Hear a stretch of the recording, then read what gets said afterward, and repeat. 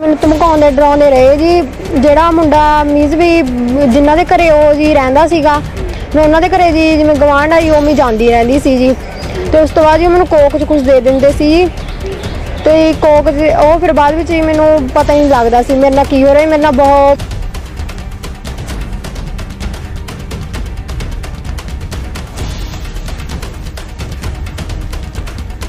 ਮੇਰੇ ਬਹੁਤ ਗੰਦੀਆਂ ਫੋਟੋਆਂ ਵੀ ਖਿੱਚ ਲਈਆਂ ਤੇ ਉਹ ਵਾਇਰਲ ਹੋ ਗਈਆਂ ਸੀ, ਹੁਣ ਡਿਲੀਟ ਹੋ ਡਿਲੀਟ ਕਰਤੀਆਂ ਜੀ ਸਾਰਿਆਂ ਨੇ ਜੀ।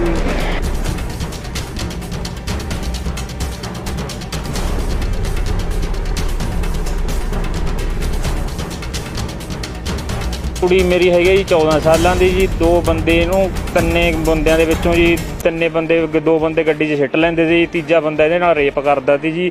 ਰੇਪ ਕਰਕੇ ਜੀ ਉਦੋਂ ਬਾਅਦ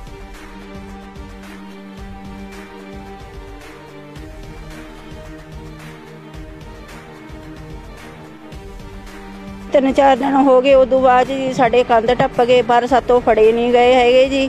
ਕੰਧ ਟੱਪੇ ਉਹ ਨਾਂਗੇ ਜੀ, ਸਾਡੇ ਮਹੱਲੇ ਦੇ ਨੇ ਜੀ, ਉਹ ਦੇਖੇ ਨੇ। ਮੇਰਾ ਹੀ ਬਾਲੀਆਂ ਪਿੰਡਾ ਹੀ ਮੇਰੀ 14.5 ਸਾਲ ਦੀ ਉਮਰ ਆ ਜੀ। ਤੇ ਮੈਂ 10ਵੀਂ ਕਲਾਸ ਚ ਪੜ੍ਹਦੀ ਆ ਜੀ। ਉਹ ਮੁੰਡੇ ਮੈਨੂੰ ਧਮਕਾਉਂਦੇ, ਡਰਾਉਂਦੇ ਰਹੇ ਜੀ। ਜਿਹੜਾ ਮੁੰਡਾ ਮੀਜ਼ ਵੀ ਜਿਨ੍ਹਾਂ ਦੇ ਘਰੇ ਉਹ ਜੀ ਰਹਿੰਦਾ ਸੀਗਾ, ਮੈਂ ਉਹਨਾਂ ਦੇ ਘਰੇ ਜੀ, ਜਿਵੇਂ ਗਵਾਂਢ ਆਈ ਉਹ ਮੈਂ ਜਾਂਦੀ ਰਹਿੰਦੀ ਸੀ ਜੀ।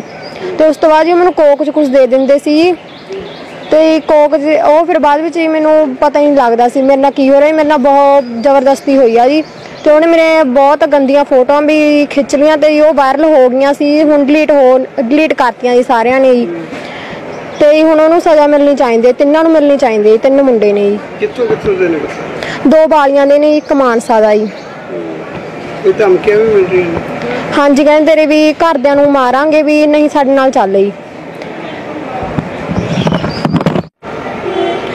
ਪਿੰਡ ਆ ਜੀ ਤੇ ਕੁੜੀ ਕਿੰਨੇ ਸਾਲ ਦੀ ਹੈ ਤੇ ਕੀ ਗੱਲਬਾਤ ਹੋਈ ਹੈ? ਕੁੜੀ ਹੈਗੀ ਆ ਜੀ ਮੇਰੀ 13.5 ਸਾਲਾਂ ਦੀ ਜੀ। ਕੁੜੀ ਨੂੰ ਡਰਾ ਡਰਾ ਕੇ ਜੀ ਤੇਰੇ ਨਾਲ ਕਿਤੇ ਠੰਡੇ ਚ ਦੇਤਾ ਜੀ। ਕੁਛ ਕੁੜੀ ਨੂੰ ਕੁਛ ਨਹੀਂ ਪਤਾ ਲੱਗਦਾ ਤੇ ਜੀ ਮੇਰੇ ਨਾਲ ਕੀ ਕਰਦੇ ਨੇ, ਕੀ ਨਹੀਂ ਕਰਦੇ। ਤੇ ਇਹਦੀਆਂ ਫੋਟੋਆਂ ਜੀ ਵਾਇਰਲ ਕਰਤੀਆਂ। ਤੇ ਉਦੋਂ ਬਾਅਦ ਜੀ ਵਾਇਰਲ ਕਰੇ ਤੇਰੀ ਮਾਂ ਨੂੰ, ਤੇਰੇ ਡੈਡੀ ਨੂੰ ਆਏ ਕਰਾਂਗੇ। ਕੁੜੀ ਨੂੰ ਜੀ ਡਰਾਬੇ ਮਾਰਦੇ ਰਹੇ ਜੀ। ਬਹੁਤ ਜ਼ਿਆਦਾ ਦਬਕੇ ਬਹੁਤ ਦਿੱਤੇ ਜੀ। ਫਿਰ ਜੀ ਤਿੰਨ ਚਾਰ ਦਿਨ ਹੋ ਗਏ। ਉਦੋਂ ਬਾਅਦ ਜੀ ਸਾਡੇ ਕੰਧ ਟੱਪ ਗਏ, ਪਰ ਸਾਤੋਂ ਫੜੇ ਨਹੀਂ ਗਏ ਹੈਗੇ ਜੀ। ਕੰਧ ਟੱਪੇ ਉਹ ਨਾਂਗੇ ਜੀ ਸਾਡੇ ਮਹੱਲੇ ਦੇ ਨੇ ਜੀ ਉਹ ਦੇਖੇ ਨੇ। ਜਿੰਦਾ ਸਾਡਾ ਤੋੜਿਆ ਪਿਆ ਤੀ ਜੀ। ਕੀ ਕੀਤਾ ਕੁੜੀ ਨਾਲ? ਕੀ ਗੱਲਬਾਤ ਹੋਈ? ਕੁੜੀ ਨਾਲ ਉਦੋਂ ਨਹੀਂ ਜੀ ਕੁਛ ਕੀਤਾ। ਉਦੋਂ ਪਹਿਲਾਂ ਉਹਨਾਂ ਨੇ ਸਾ- ਕੁੜੀ ਨੂੰ ਵੀ ਨਹੀਂ ਪਤਾ ਜੀ ਉਹਨਾਂ ਨੇ ਕੀ ਕਰਿਆ ਕੀ ਨਹੀਂ ਕਰਿਆ। ਕੁੜੀ ਦੀਆਂ ਫੋਟੋਆਂ ਬਹੁਤ ਗੰਦੀਆਂ ਜਿਆਦੇ ਉਹਨਾਂ ਨੇ ਵਾਇਰਲ ਕਰਤੀਆਂ ਜੀ। ਹੁਣ ਤੁਹਾਨੂੰ ਕੀ ਕਦੋਂ ਪਤਾ ਲੱਗਿਆ ਕੀ?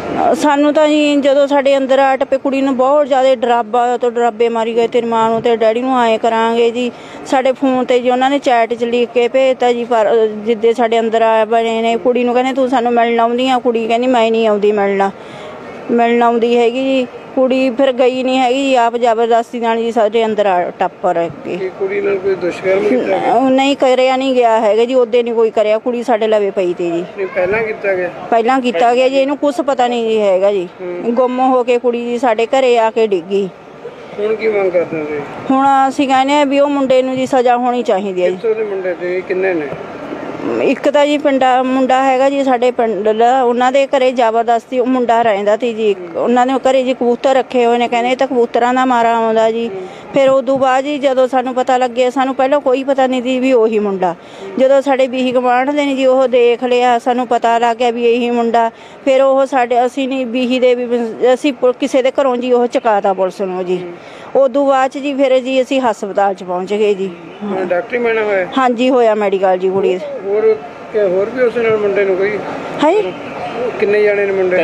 ਤਿੰਨ। ਮੁੰਡੇ ਨੇ ਜੀ ਉਹ ਜਿਹੜਾ ਜ਼ਬਰਦਸਤੀ ਕਰਦਾ ਕੁੜੀ ਨਾਲ ਉਹ ਕੱਲਾ ਮੁੰਡਾ ਜੀ।